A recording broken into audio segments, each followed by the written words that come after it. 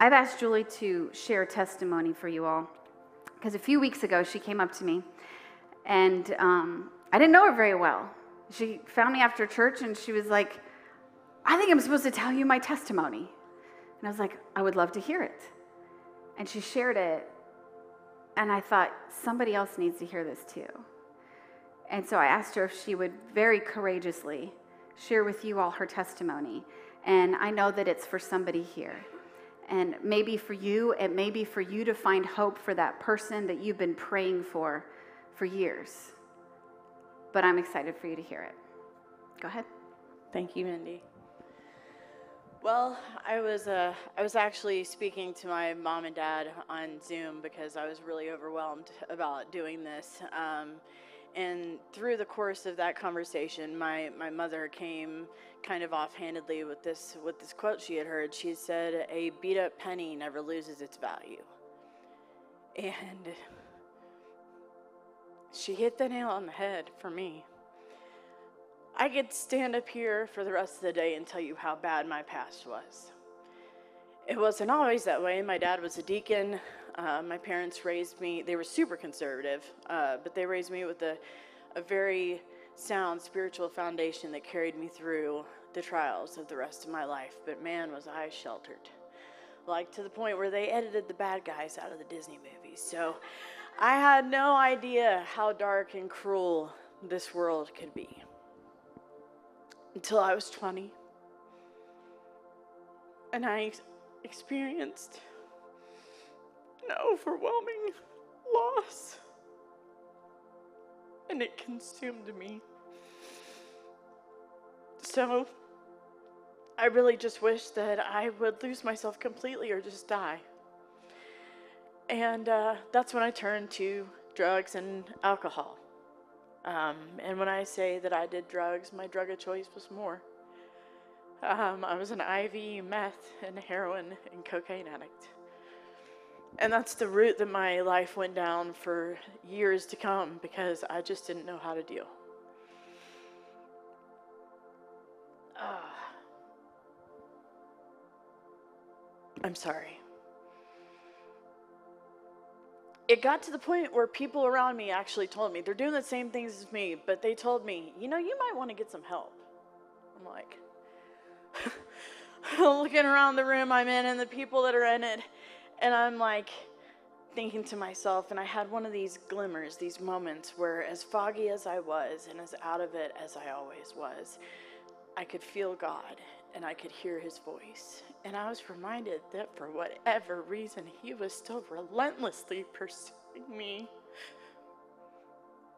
And that something had to give. I didn't know how, I didn't know what. My life had been for, like this for so long. And unfortunately, my first solution was try to take my own life. And praise God, I didn't succeed. But I had been homeless for a couple of years at this point now. It was excruciatingly cold outside. I had overdosed multiple times. I had watched watched my friends die. I had been in ever increasingly dangerous situations. I was committing serious crimes to support my habit, manufacturing the method I was using. I had been beaten and abused in every way that you could possibly imagine.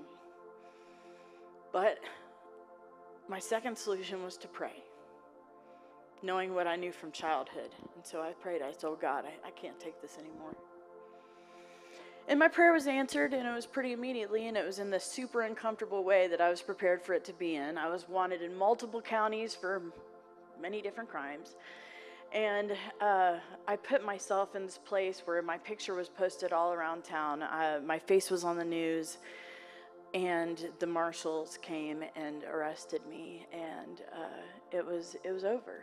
Um, and I've been in the back of a lot of cop cars. I'm not, I'm not, you know, a proud of that fact. But this was the one time where we were speeding like only cops can do toward downtown Chattanooga to the jail, and I felt a sense of relief. It was over. I made up my mind then. And my attorney came, however many months later, uh, they take their time. And the state's office, this, the DA's office, their first office, First felonious offenses, 27 years. If that's not a gut punch. Unfortunately, uh, that, that's not the way that the story ended. I got a 10 year sentence. I served a little over a year of that um, in the prison, and eight months of that was served in solitary because I was deemed unfit to be around other prisoners. I had basically turned myself in a, into an animal. I had a huge problem with anger and aggression because of the things that I had gone through. And I saw somebody when they came in to make sure I was still there or to feed me. And I had all the time in the world that I needed to think in that cell over the last 10 years of my life. And I realized one day I had this moment of clarity and I felt connected to God. And I was just so overwhelmed with the fact that the things that I had done were spiritually worth a death sentence. Forget that 27 years. And I hit the floor of that cell, and tears started streaming down my face. And I just asked God, I was like, if you will save me, if you will help me, I will dedicate the rest of my life to serving you. Because I know there's nothing you can't pull me out of. He hadn't turned his back on me, I had turned my back on him. And I will never forget those moments because I believe, I know that that is when he made me into something completely new. So I was released from the prison and I went into drug court, and everybody said, You're going to fail. And I was like, No, I'm not. A year later, I graduated that program, and I walked out of the courtroom with my son by my side. And I knew that that was not me. I fully recognized in and of myself, I couldn't have done that. That was him. He had redeemed me and enabled me to to fulfill that commitment that I made in that jail cell a couple of years ago. And from there, I went on to earn my criminal justice degree. I worked in treatment centers. And I was the third person in the 20 year history of that drug court program to be offered a job by the judge to help other people change their lives. And I know, I know that Again, this, this wasn't me. It wasn't me. The person that I was was so incredibly broken. But God put me back together piece by piece into something more beautiful than I could have ever been before drugs and alcohol. He had never stopped loving me. I shouldn't be standing here on this stage telling you this story today. I should be dead or in prison somewhere. But He never stopped loving me. His grace was sufficient for me. His mercy covered me. And as beat up and as ugly as I was, He saved me.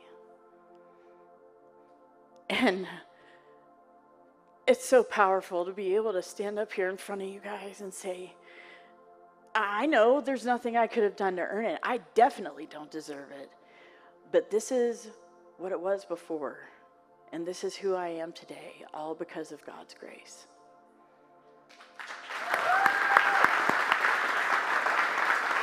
Amazing. Amazing. Thank you so much, Thank. Julia. Thank One more time. me. That was incredible. God is so good. We serve a God who exceeds our expectations. As Julie was meditating on her testimony last night, she just kept texting me, I'm just so overwhelmed, she said, with gratitude for my God. And so I don't know what it is that you need to ask God for, but I hope that you come to Him this morning with expectations high because He can do above and beyond all you could ask or imagine for you and for the people that you love.